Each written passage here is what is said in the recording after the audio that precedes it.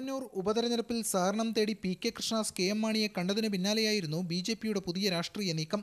ചൊവ്വാഴ്ച കീഴാറ്റൂരിൽ P K Krishnadas നയിക്കുന്ന കർഷക രക്ഷാ മാർച്ചിൽ കെ എം മാണിയെ എത്തിക്കാനാണ് ബി ജെ പി ശ്രമം. ഇക്കാര്യം ബി ജെ പി സംസ്ഥാന നേതൃത്വം കെ എം മാണിയെ അറിയിച്ചു. കഴിയുമെങ്കിൽ പരിപാടിയുടെ ഉദ്ഘാടകനായി പങ്കെടുക്കണമെന്നാണ് ബി ജെ പി അഭ്യർത്ഥിച്ചത്. എന്നാൽ ചെങ്ങന്നൂർ ഉപതെരഞ്ഞെടുപ്പ് മുന്നിൽ നിൽക്കെ ആ നീക്കം വേണ്ടെന്ന് കേരള കോൺഗ്രസ് ബി ജെ അറിയിച്ചതായാണ് സൂചന. എങ്കിലും അണിയറ ചർച്ചകൾ ഇപ്പോഴും സജീവമായി നടക്കുന്നു. മാണിയെ സമരത്തിൽ പങ്കെടുക്കാൻ ക്ഷണിച്ചതുവഴി ബി ജെ പി സംസ്ഥാന നേതൃത്വം ഉള്ളിൽ കണ്ടത് രണ്ട് കാര്യങ്ങളാണ്.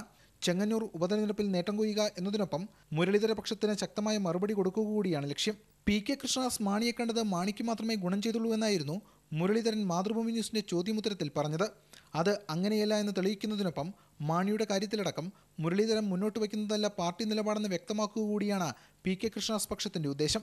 വി. മുരളീധരനെ എം പിയാക്കിയതിനു പിന്നാലെ പാർട്ടിയിലുണ്ടായ പടലപ്പിണക്കമാണ് കെ. എം മാണിയുമായുള്ള സഹകരണത്തെ ചൊല്ലി ഇപ്പോൾ മൂർച്ഛിച്ചിരിക്കുന്നത്.